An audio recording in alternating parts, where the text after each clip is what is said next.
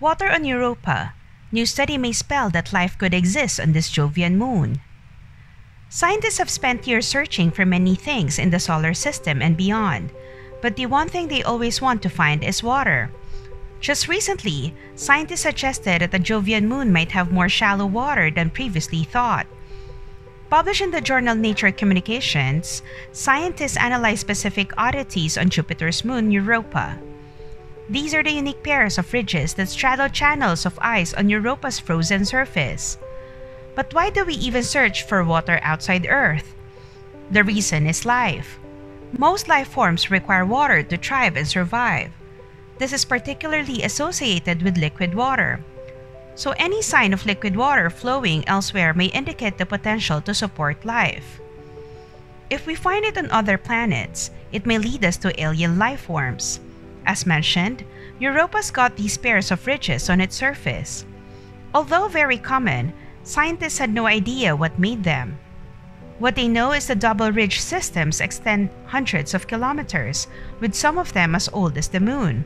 Of course, there are theories to explain the unique ridge systems. Some researchers suggested that the tides from an underlying liquid water ocean might have helped the ridges to form. Others suggested the process called cryovolcanism, where the water erupted deep within the icy moon might have played a role.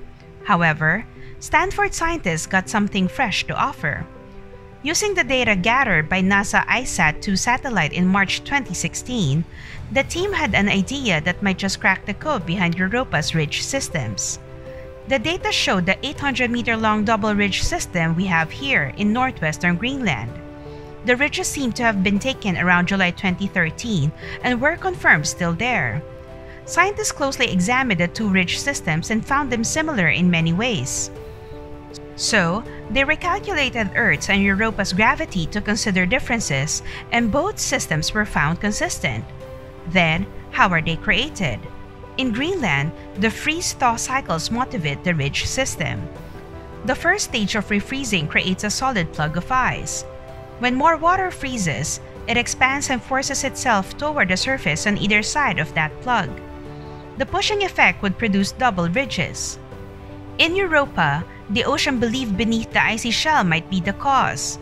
When the water rises toward the surface via cracks, it would pull inside thick layers of ice shattered by meteorites or tidal flexing. This would explain how the ridge came to be, despite the lack of meltwater or precipitation on the Jovian moon. Does Europa have a more shallow liquid water? What do you think? Share your thoughts in the comment section. Till our next video, thanks for watching.